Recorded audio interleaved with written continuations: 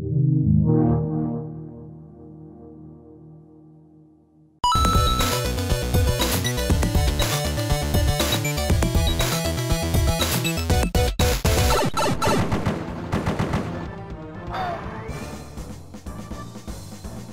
Die Hard Arcade hit the US in 1996. The game was developed by AM1 and Sega Technical Institute and published by Sega.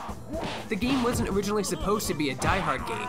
In Japan, the game was titled Dynamite Deka and had nothing to do with the Die Hard franchise. But since the game was published outside Japan by Fox Interactive, they decided to rebrand the 3D beat 'em up to coast on the success of their Die Hard motion picture. The game was a 3D beat 'em up, one of the first actually, being entirely in 3D. The game also featured weapon pickups like handguns and fire axes, but perhaps the most interesting thing the arcade did was the inclusion of QTE, quick time events. When transitioning through certain stages, the game would prompt you to hit punch or kick at the right time.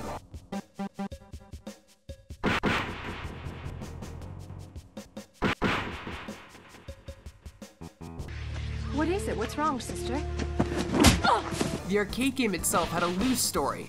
You're trying to rescue the president's daughter, and it has no relation to the feature film whatsoever, aside from the name change to the game itself and the main character being called John McClane, and the female character being called Chris Thompson. None of the enemy types are Die Hard villains, like the sumo bad guy, or the Chinese villain who used a samurai sword to fight John McClane. Remember that in the movie? Was always kind of partial to Roy Rogers, actually. The arcade isn't a bad game, it's actually quite fun and revolutionary. It's just a tad disappointing that Fox Interactive didn't think it would sell well without the Die Hard name. The game was ported to Sega Saturn, PS2, and eventually the PSN, but in Japan only. The game received one sequel, Dynamite Cop, that was exclusive to the Dreamcast in 1998. Have requests for an arcade corner? Tweet me and include hashtag arcade corner. For everything else gaming related, you're already in the right place. You're on shacknews.com.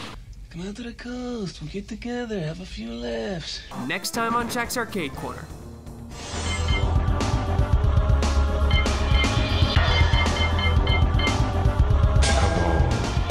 Choose your destiny.